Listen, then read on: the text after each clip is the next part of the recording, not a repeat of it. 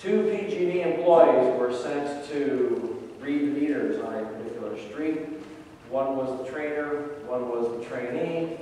They had the new smart meters, so all they had to do was wave the stick of tennis ball on the end by each house. And so one went down one side of the street, and the other went down the other side of the street, reading the meters and checking all the status. When they reached to the end, the trainee said to the trainer, I'll race you back to the truck. The guy said, okay. So they ran down the middle of the street back to the truck. And when they got there, they heard footsteps behind them, and they looked, and the lady from the last street on the last house on the left was running after them. And they said, what are you doing?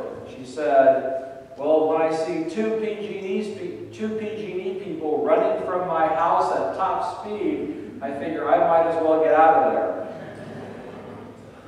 We run for lots of reasons. In this passage, the author of Hebrews tells us that we are in a race and that we need to be running. The difficulty is you don't have to actively run in the race.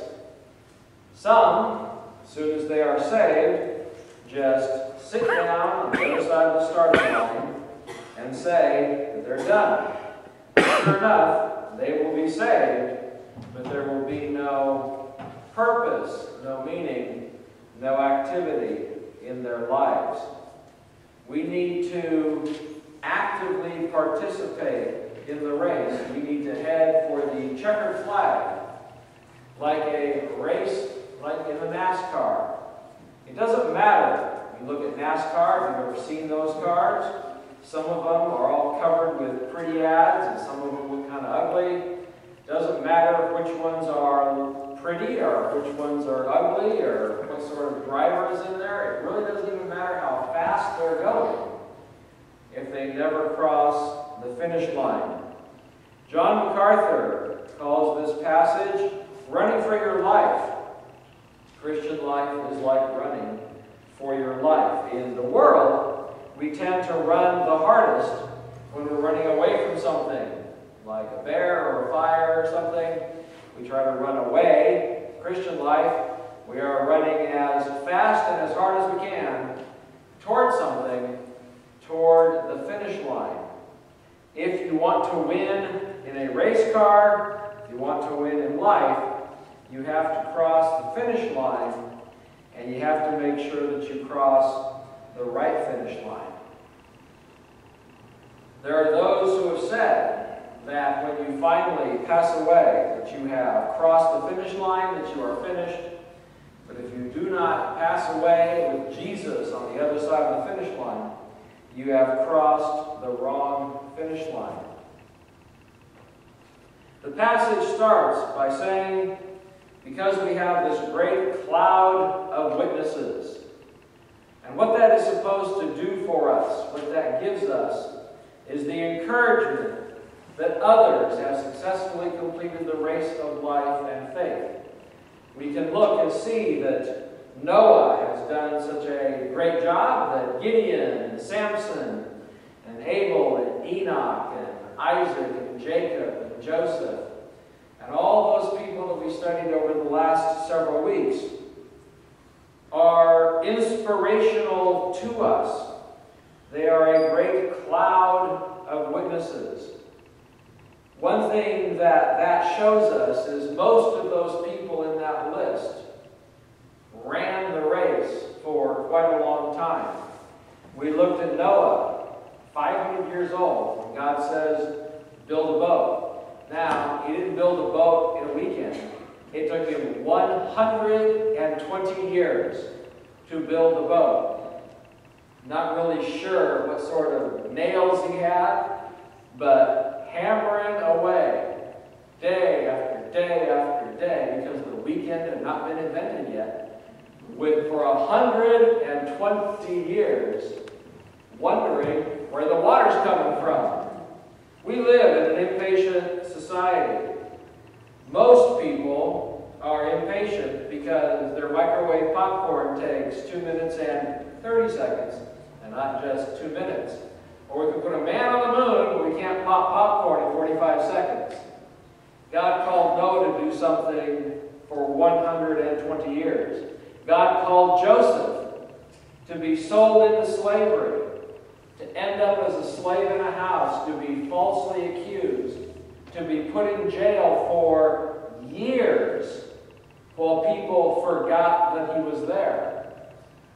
It was a long time for, from Joseph's dream until he was able to save his family and birth the Jewish people. The idea that people before us have gone through long times show that we need to go through long times. And if you are thinking about getting deeper into the race, you need to realize that it is a lifelong faith race. We are in this race for a long, long time, as long as God will keep us on this planet. We not only have the heroes of the faith that are in Hebrews 11, but I'm sure that if you think and ponder for a minute, there are heroes of the faith in your own life. There are people that you have seen. Uh, we just had a service for Pat, and she, for all of us, is a hero of the faith. She is an inspiration to us to keep going as she kept going. When I think of the heroes of the faith in my life, I think of Pastor David McElreath when work sent Janelle and I to Colorado 25 years ago when we first got married. We wanted to find a church. So we went, and this big old red church, Pastor Fast was the guy's name, and he was really pleased about his gymnasium. We decided not to go there. We went to Ambassador Baptist Church, Pastor McElreath, and 19 people. We were number 20 and 21. He had come from a large church in Washington State to this small church because he felt that's where God was calling him. And he was able to invest into the lives of those people. They actually all went to his house every once in a while for games and dinner. He could have a whole church in his house. He was able to mentor me and invest in me and tell me things that would give me hope and peace because from the time that I was called to a pastor, be a pastor, until I became a pastor, was 21 years. And that may seem not quite 120, but it's a challenge to keep going in the same direction and to allow God to change us until we are ready for what He wants. In 1986, in the New York City Marathon, 20,000 people entered the race. What was memorable was not who won. It was probably a Kenyan, but the person who came in last, Bob Wieland, finished 19,413.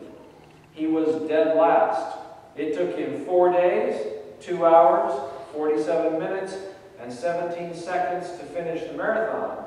It was the slowest marathon that was ever run. But you see, Bob didn't run it with his legs. When he was 17 years old, he stepped on a landmine in Vietnam and lost both his legs. He had built a contraption whereby he could walk with his arms. Being prepared for the marathon, he made special handles and pads and did the 26 miles on his hands.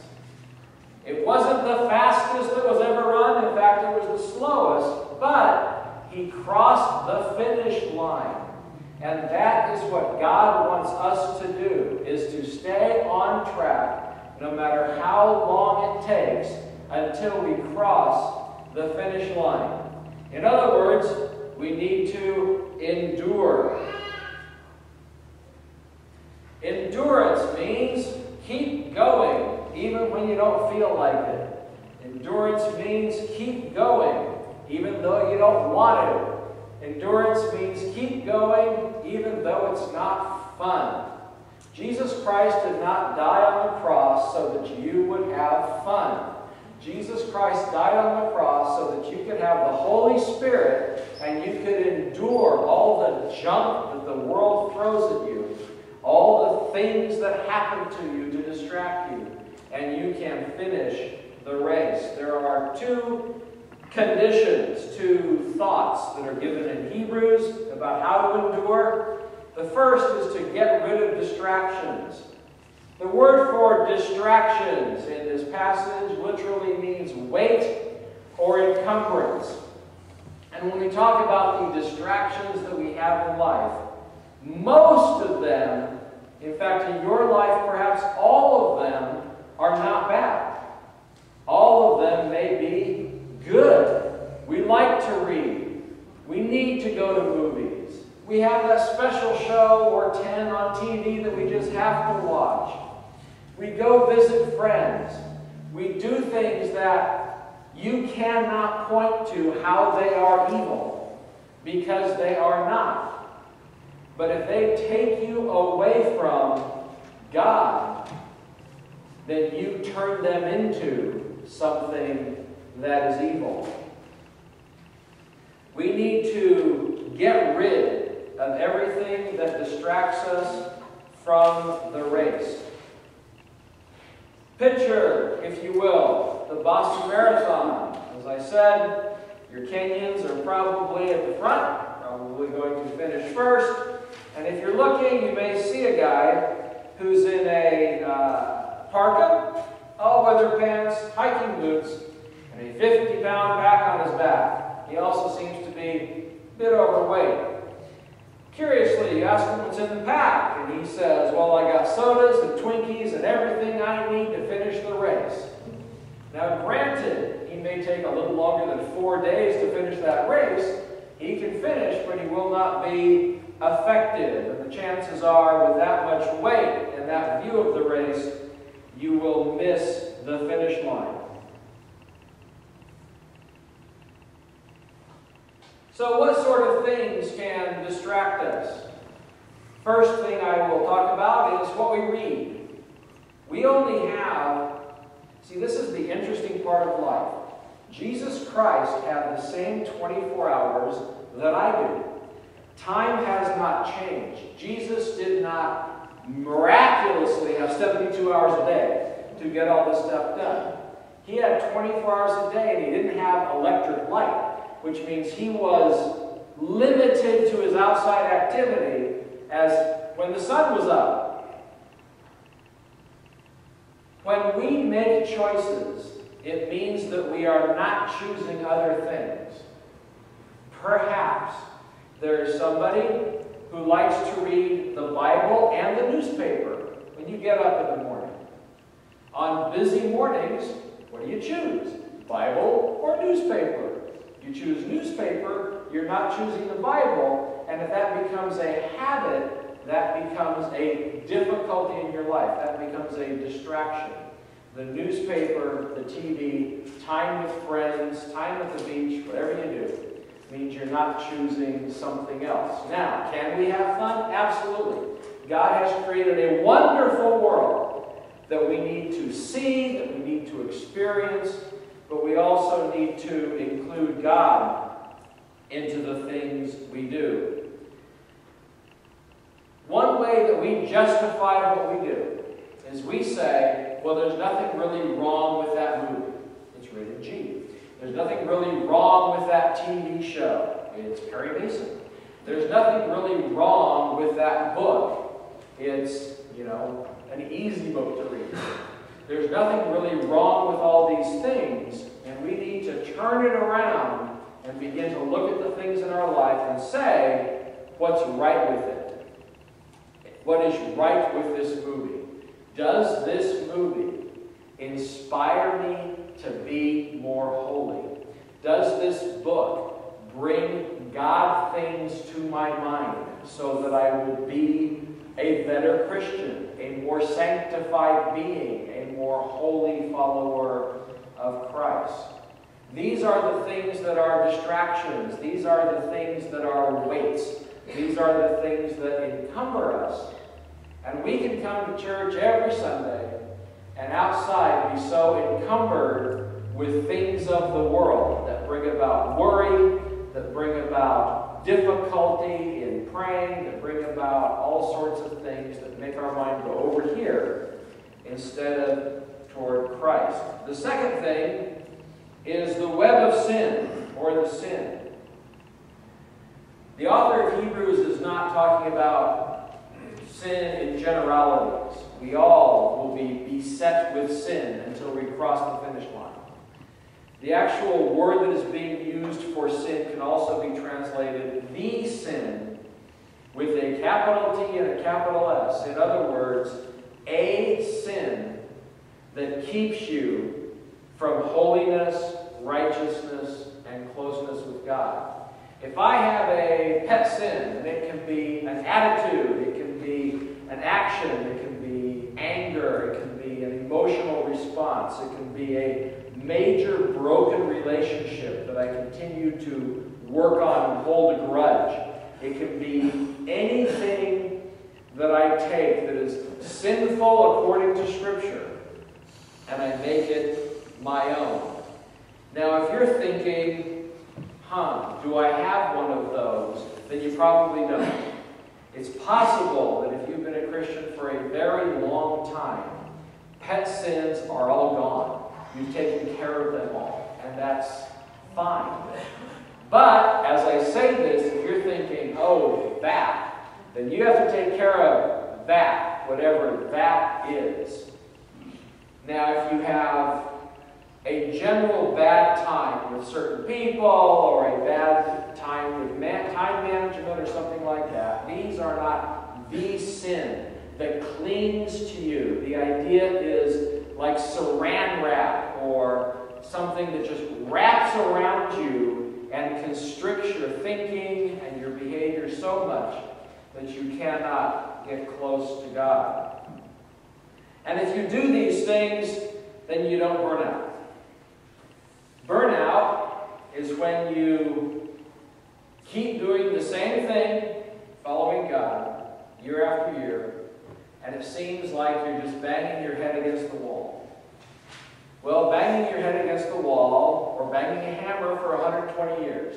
Sometimes God will put us in a holding pattern. Sometimes God will tell us to wait. What you have to figure out is, is it God who wants you to move and you're not moving? Or is it you who wants God to move and he's not moving? If you want God to move, you need to be patient. If God wants you to move, you better figure out what it is. God has timing that is not ours. His timing is perfect. His timing tends to be longer than our desires. We want popcorn in 45 seconds. God says no. Physics says 2 minutes and 30 seconds. God has a longer time frame than ours, and we need to be patient with it. God is most likely, if you are in a waiting pattern, changing you, growing you, teaching you something so that you will be ready when it's time to move. We need to endure. Endurance is doing something when you don't feel like it, when you don't want to. You do all this, as the passage says, by keeping your focus on Jesus, not on yourselves. If I'm doing this in my own strength, I'm trying to figure out and, and take care of my sin through just, you know, gritting my teeth and discipline, no, I got to keep my eyes on Jesus. I got to pray. I got to lay things at the foot of the cross. I have to keep Jesus as my focus. And if I can keep Jesus as my focus, I will finish. In the 2002 Winter Olympics, there were five finalists for the men's 1,000 meter speed skating race. During the final lap, the American and Chinese were out in front with the Canadian and Korean skaters hot on their heels. Australia was way behind. Australia was not going to win. As they came around the last curve, everyone gathered and the American cut in front of the Chinese. Their skates touched. They tumbled. They took out the Canadian and the Korean. And all four of them went into the stands. And the Australian skated across the finish line and got the gold. Not the fastest, not the most skilled, but won the race because everybody else fell out. How fast we do it doesn't matter. The quality of what we do is what matters. Jesus is calling you to a certain direction before you are done on this earth, and we need to follow that, we need to understand that, and we need to race with all our might. You do not retire from the Christian life. You do not retire until God calls you home. When God calls you home, it will be the finish line and it will be glory. We need to stay strong, do not give up, and finish the race. We need to be the type of people that every day you get up and say, What does God have for me today? How am I to run the race today? And by doing that, we can live with God as our King, we can keep Christ on our, on our mind, and we can finish the race.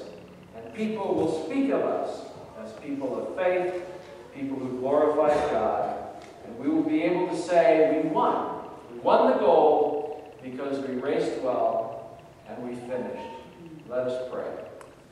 Lord God Almighty, I just lay before you everything in my life that I hold dear and pray that you will take it, that you will sanctify it, and that you will give back to me what I need to finish the race.